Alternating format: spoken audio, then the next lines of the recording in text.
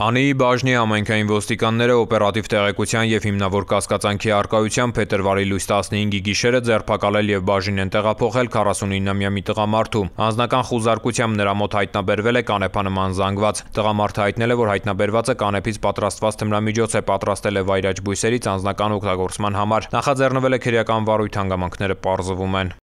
Ծանուցում. Ենթադրյալ հանցանքի մեջ կասկածվողը կամ մեղադրվողը համարվում է անմեղ, քանի դեռ նրա մեղավորությունը ապացուցված չէ Հայաստանի Հանրապետության քրեական դատավարության օրենսգրքով սահմանված կարգով՝ դատարանի օրինական ուժի մեջ մտած դատավճռով։